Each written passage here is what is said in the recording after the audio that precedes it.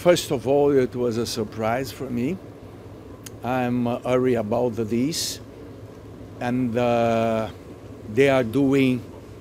an, uh, an work with uh,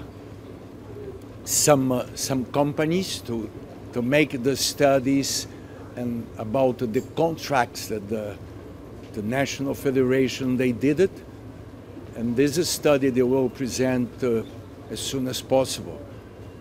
And uh, in my opinion, I, I want uh, to wait all of this